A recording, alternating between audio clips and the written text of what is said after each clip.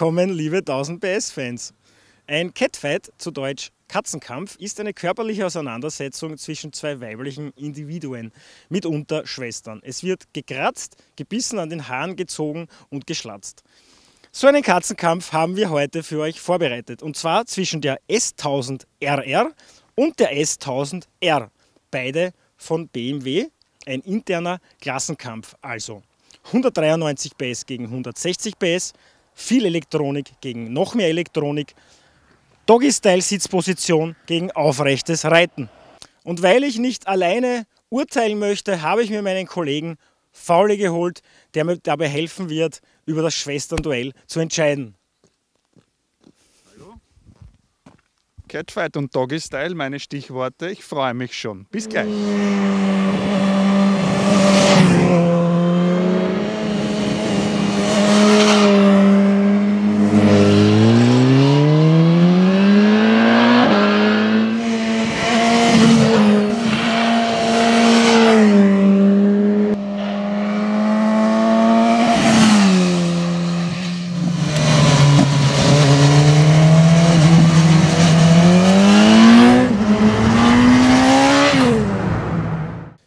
So, der Katzenkampf ist vorerst zu Ende. Keine Blessuren, keine Kratzer, keine Dellen. Also ein sehr fairer Kampf, anders als es Frauen zu kämpfen gewohnt sind, aber wir sind ja auch Männer. Ich hoffe doch, ja. Martin, ähm, wir konnten jetzt beide BMWs ausgiebig testen. Das Einzige, was uns gefehlt hat, waren so richtig schnelle Landstraßen- oder Autobahnstücke. Alles andere war dabei. Ähm, Nochmal kurz die Eckdaten. S1000RR 193 PS, S1000R 160 PS. Der Rest ist eigentlich fast gleich. Lenkkopfwinkel 24, Punkt, Punkt, Punkt bei beiden. Äh, die Sitzhöhe ist bei der S1000 um ungefähr 12 mm höher. Bei der RR? Bei der RR, Entschuldigung. Beide Reifendimensionen äh, gleich, die, die Felgengrößen sind gleich. Wir haben hier nur äh, auf der 1000R standardmäßig die Rosso Corsa, Corsa montiert und bei der Doppel-R von vorigen Jahr noch von der Grip Party haben wir die Conti Race Attack. Das ist eigentlich der einzige Unterschied und der Rest, wie gesagt, eigentlich gleich. Auch die Bremsen, Fahrwerk, beide Motorräder voll ausgestattet, äh, nicht nur mit ABS und Traktionskontrolle, sondern auch mit dem ESA, dem elektronischen Fahrwerk und mein absoluter Favorit, für mich Pflicht bei solchen Motorrädern mittlerweile, der sensationelle Schaltautomat. Martin, äh, wir sind nicht gestürzt, sogar du nicht, äh, weil BMW einfach auf Sicherheit setzt, aber auch auf Sportlichkeit und ich finde, bei BMW ist sich das nicht im Weg. Wie siehst du das? Ich finde auch beide extrem sportlich. Äh, wenn ich jetzt schon ein bisschen auf die Unterschiede der beiden Modelle vorgreifen darf, mich hat unendlich fasziniert, wie agil und sportlich eben die normale R, also die nackte R im Vergleich zur RR antritt. Also es sind ja über 30 PS Unterschied, aber davon merkst du überhaupt nichts. Es geht von unten Hölle, das geht in der Mitte spitzenmäßig. Nur ganz oben merkst du dann, dass du mit der RR schneller wärst, aber auf der Landstraße, naja, wann kommst du in den Bereich, wo du sozusagen mit der RR die R abhängen könntest? Wie siehst du das? Äh, bin ich ganz deiner Meinung. Beide haben ja das gleiche maximale Drehmoment. 112 Newtonmeter, das aber natürlich bei der nackten früher ansteht. Der Motor wurde ja äh, zugunsten eines besseren Drehmomentverlaufs optimiert, deswegen leider 33 PS weniger. Oben heraus spürt man es, du hast recht, man kommt aber auf der Landstraße nicht in diese Gegenden und unten heraus hat die S1000 einfach einen sensationellen Druck. Mich fasziniert auch, dass man äh, da offensichtlich nur den Lenker geändert hat und das, das Fahrverhalten ganz ein anderes ist. Die, die S1000R wirkt, obwohl sie, glaube ich, um drei Kilo schwerer ist, 3, 4 Kilo, wirkt sie für mich, als hätte sie 20 weniger.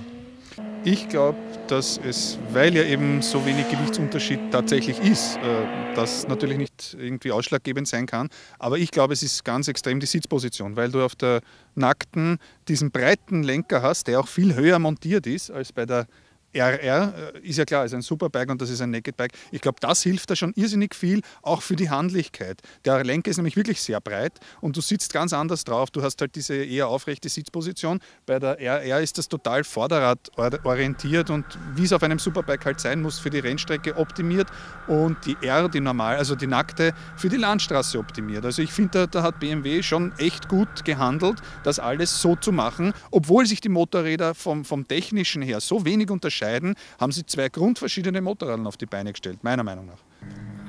Ja, einerseits verbessert der breite Lenker das, die Fahrdynamik, äh, erleichtert das Einlenken. Ich finde, man braucht weniger Körpereinsatz. Andererseits verbessert es natürlich die Sitzposition und damit den, den Komfort. Ich weiß nicht, wie du das empfunden hast. Ich finde den Supersportler für einen Supersportler recht bequem. Und auch am Naked Bike äh, gibt es für mich nichts zu klagen, außer der doch sehr spitze Kniewinkel. Ähm, Sitzbank ist eigentlich sehr angenehm für den Popo. Äh, da schaut wahrscheinlich BMW auf sein etwas reiferes Klientel, schätze ich mal. Äh, wie ist es dir so gegangen auf den beiden Bikes? Kniewinkel kann ich nichts sagen, ich habe so kurze Haxeln, mich stört das nicht. Äh, Sattel gebe ich auch gerne zu, dass der sehr bequem und weich ist. Entspricht auch diesem Naked Bike-Gedanken, dass das ein bisschen bequemer sein sollte.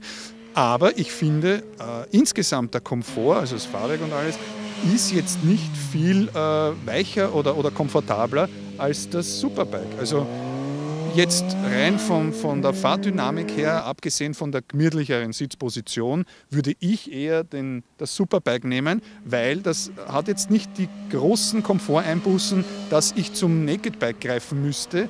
Und für mich persönlich ist es ähm, leider, muss ich zugeben, auch eine Optikfrage. Mir gefällt das Superbike, die S1000RR, irrsinnig gut mit den meiner Meinung nach so eher Endurance-Gesicht, äh, die unterschiedlichen Scheinwerfer. Und das ist meiner Meinung nach eben beim Naked Bike so gar nicht gelungen. Mir gefällt die Front nicht. Also das ist so Klubschaugengeschichte und, und die gesamte Optik ist, es ist nichts Schlechtes. Ich gebe das schon zu, dass das gut ausschaut, aber ich würde trotzdem eher das Superbike nehmen. Du auch oder eher anderer Meinung? Ja. Ich nicht, muss ich sagen, ich habe mich gerade umentschieden. Ich habe mich gerade in dem Moment umentschieden. Ich muss sagen, optisch gefällt mir das Naked Bike deshalb besser, weil es schaut wirklich aus wie eine abgeräumte S1000RR oder wie eine gestürzte, je nachdem. Ähm, das passt, dieses zerklüftete und, und das leicht disharmonische passt einfach gut zu einem Naked Bike. Ich erinnere da, erinnere da kurz an die Aprilia Tuono. Das ist ja auch eigentlich keine klassische Schönheit. Ähm, vor allem in Rot gefällt, mir, gefällt sie mir sehr gut. Und was ich äh, sehr überraschend fand, BMW hat ja dieses brave Safety First Image bei vielen Motorradfahrern leider, sind aber zwei sehr räudige Bikes von der Motorcharakteristik, finde ich. Und bei Naked Bike haben wir sogar einen sehr äh, offenen Agrapovic Endtop montiert. Der war dir, glaube ich, sogar schon zu laut. Äh,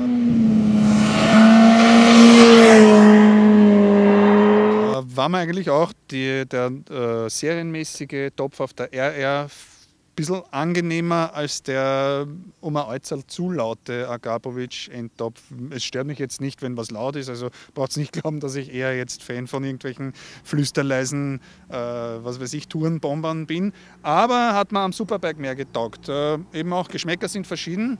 In dem Fall ich eher für Superbike, du nimmst die, oder? Also ja. nichts mit Catfight, oder? Sind wir uns eh einig? Ich nehme die, du nimmst die. Ja, aber leider gehört nur die äh, der Firma und die müssen wir wieder zurückgeben. Also ja, müssen wir uns trotzdem prügeln. Ja, stimmt. Scheiße. Okay. Dankeschön fürs Zuhören.